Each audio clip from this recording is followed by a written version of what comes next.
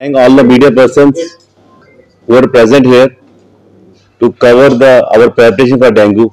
As you know, in the last year also, we had number of patients of dengue and we managed them very successfully.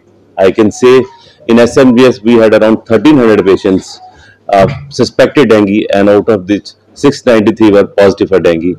And uh, I can share, unfortunately, we lost only one life. That too, patient was from um, UP, and uh, patient had come to Shri Mata Vaishno Devi, and uh, child was not fully had not fully recovered, and uh, parents they brought the child there, and child well complication there, and we tried our level best, but we could not save that.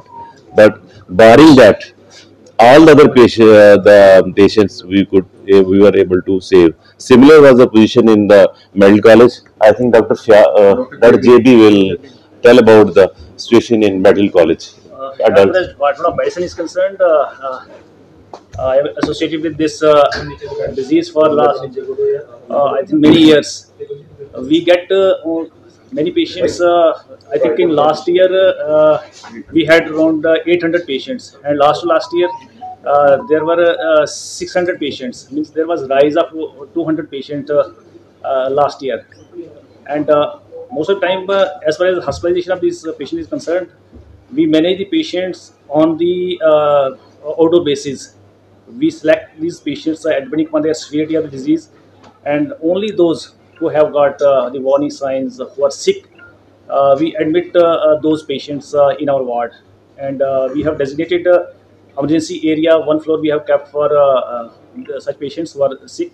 And once the patients are stabilized, uh, we sh- shift these patients to ward 3 and we have got fully as far as manpower is concerned as far as logistics is concerned we are fully prepared to handle uh, uh, this disease. Uh, this disease has started season has started and we expect more cases in coming few months. So we are fully prepared for for, for this, this disease now As far as SMG is concerned, we deal with pediatric patients, and you know the dengue in pediatric patient is severe because this is said that the second uh, episode, secondary infection, this is more dangerous, and the babies who are less than one year, they are because mother must have suffered in the past, so we uh, treat them as secondary infections, and but we are fully we geared for that. I have uh, we had one pediatric ICU. Many of your media brothers and sisters they had been to SMGS hospital. We have now established new uh, PICU uh, that is 14 bedded. The old PICU that is around 10 bedded. We are dedicated for the uh, for the dengue severe cases. Those who are in shock, those who need immediate attention, monitoring, ventilation.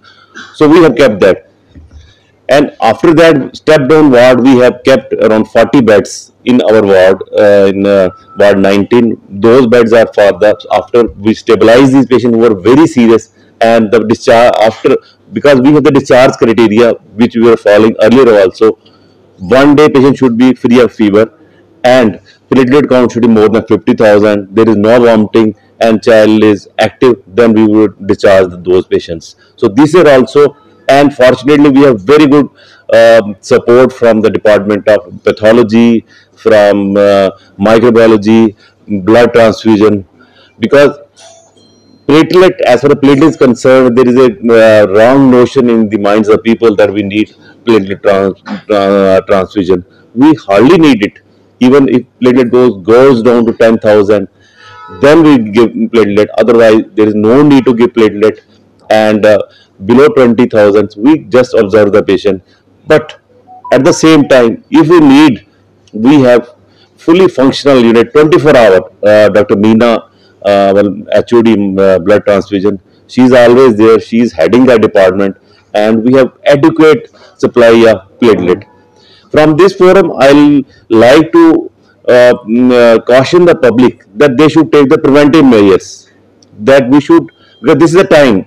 Temperature between 60 and 30 this is the uh, time for breeding of this aedes uh, aegypti ये this aedes aegypti which is a daytime biter this breeds in the fresh water that is water in the tanks water in the broken uh, these pots and um, uh, these pots uh, outside, flowering pots, and all uh, those areas in near the household, which are the we we say it's a clean water where it, it breeds, and it's a daytime biter. And so what we have to do af- within after seven days because the life cycle is such that after uh, seven days we must change the water. If we are using the water cooler we must change the water and we must keep our uh, these uh, tanks um, closed we should keep the, the uh, lid over the tanks and so we should not allow these things to happen.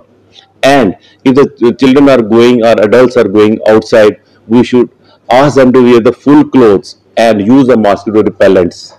The, uh, this mosquito this is very uh, vigorous in biting. They bite at one place and this usually bites below the knee joints. And it is present in our uh, household near the sofas.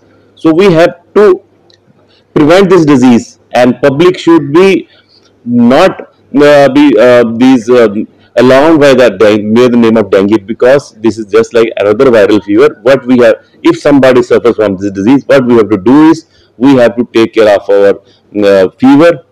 And very important thing which is to be done is we should use only paracetamol. Don't use others like ibuprofen aspirin mefenamic acid because they are the they have the effects on the platelets. So we should use paracetamol and ample uh, quantity of water and we should ensure that a child should pass urine in 6 hours. And this fever usually lasts for 2 to 7 days. And fifth to seventh uh, fourth day onward this is the patient has a critical period. This is the time when the uh, the patient can go into shock. So we have to monitor those patients there. And there are the warning signs. If warning signs are there like child is having persistent uh, vomiting child is having pain abdomen child is lethargic child well bleeding and uh, and other child is uh, having uh, pain abdomen and liver is palpable, which is the non-technical, uh, the technical term for this. So these, if they are a warning sign, then and then we have to bring the child to the hospital. Otherwise, this is self-limiting uh, disease, and this goes off uh, on its own without complications.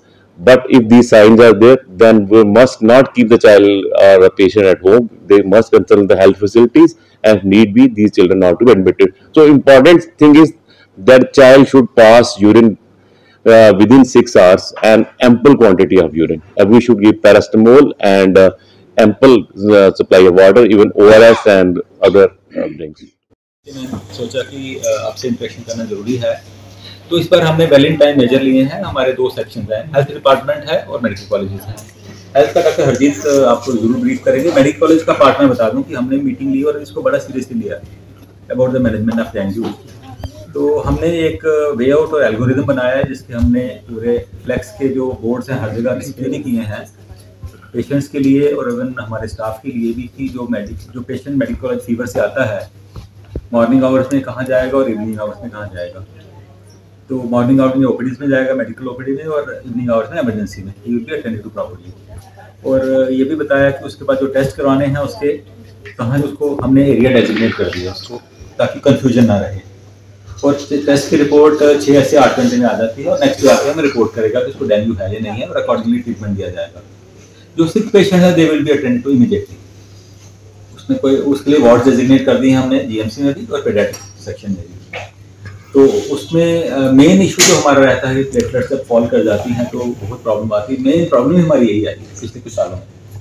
तो इस पर हमने ensure किया है availability of platelets जो machines हैं मेरी apheresis machines हैं, वो ट्वेंटी फोर आवर चलेंगी। ब्लड बैंक के डॉक्टर मीना यहाँ बैठे आपको बेटर ब्रीफ कर पाएँगी कि हमने रोस्टर बना दिया है अपने टेक्नोलॉजिस्ट का डॉक्टर्स का, दो दो मशीन दो ट्वेंटी फोर आवर्स हाँ प्लेटलेट्स देने के लिए डोनर्स को एनकरेज कीजिए डोंट एक्सपेक्ट कि medical college platelets random unit हम दे सकते हैं, लेकिन एक प्रोसीजर कहते हैं एसटीपी सिंगल डोनर फेरेसी एक ही डोनर से प्लेटलेट्स निकाली जाती हैं और ट्रांसमिशन की जाती है, उसमें क्वांटिटी और यील्ड ज़्यादा होती है और पेशेंट की लाइफ हम ज़्यादा सेव कर सकते हैं और वही डोनर चार पाँच दिन या हफ़्ते बाद दोबारा डोनेट कर सकता है। तो पब्लिक से रियली गुजारिश है कि कई लोग बाहर चले जाते हैं बड़े बड़े पच्चीस तीस हज़ार एक एक फेरेसिस पे खर्चते हैं विदाउट रियलाइजिंग ये फैसिलिटी हमारे जम्मू में अवेलेबल है नहीं है। तो आपके थ्रू ये मैसेज स्प्रेड करना चाहते हैं पैनिक ना करें। अगर ऐसा कभी है तो इमीडिएटली हमारे डेजिग्नेटेड वार्ड्स डॉक्टर्स के मिलकर डेजिग्नेटेड वार्ड में एडमिट हो जाएँ। हाँ प्लेटलेट्स हम मॉनिटर करते हैं डे बेसिस पे या जैसे भी कोई जो हमारा मैथडोलॉजी होती है प्लेटलेट्स मॉनिटर की जाती है। और अगर फॉल करती हैं तो मशीन अवेलेबल हैं डोनर्स आपको। ज़रूर अरेंज कीजिए और सोसाइटी को भी बोलिए कि प्लेटलेट्स देने के लिए पीछे ना हटें स्टाफ जो हम इसी तरह हम अपने पेशेंट की लाइफ सेव करें। मेरे बाकी कंसल्टेंट्स भी आपसे इंटरेक्ट करेंगे। आप